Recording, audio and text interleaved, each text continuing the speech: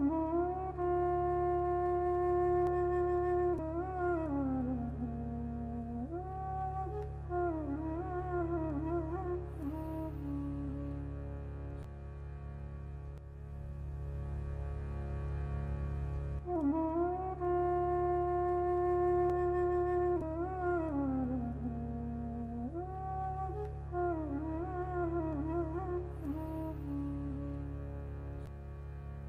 हे भाई, आपको अपने सौंदर्य पर इतना गर्व क्यों है?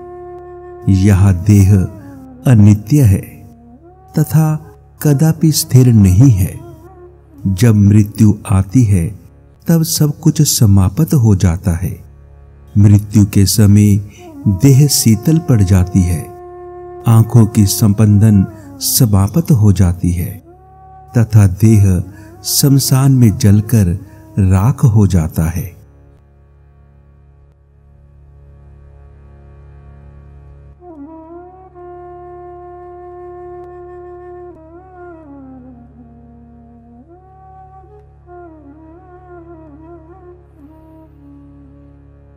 अपने मुख का सौंदर्य, जिसे आप सदा दर्पण में निहारते रहते हो, कुत्तों तथा भेड़ियों का भोजन बन जाएगा।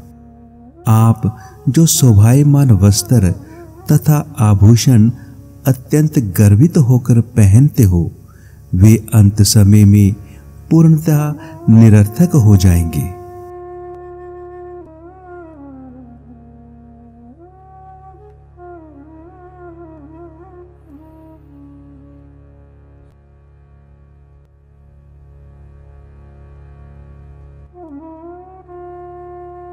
आपके मित्र, आपकी पत्नी तथा पुत्रों सहित आपको शमशान में ले जाएँगे।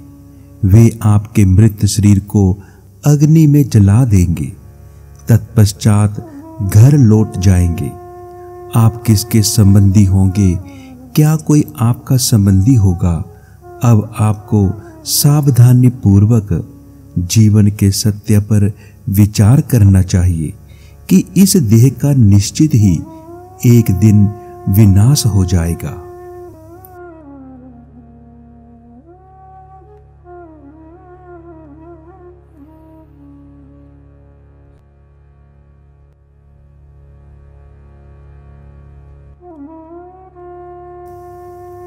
यदि आप शाश्वत रूप से निर्भय होना चाहते हो तो सदा भगवान कृष्ण के गुणों का गान करो।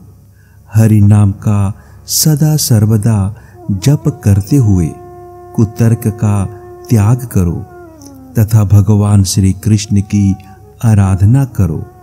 यही श्रीला भक्तिनाथ ठाकुर का एकमात्र आश्रय है।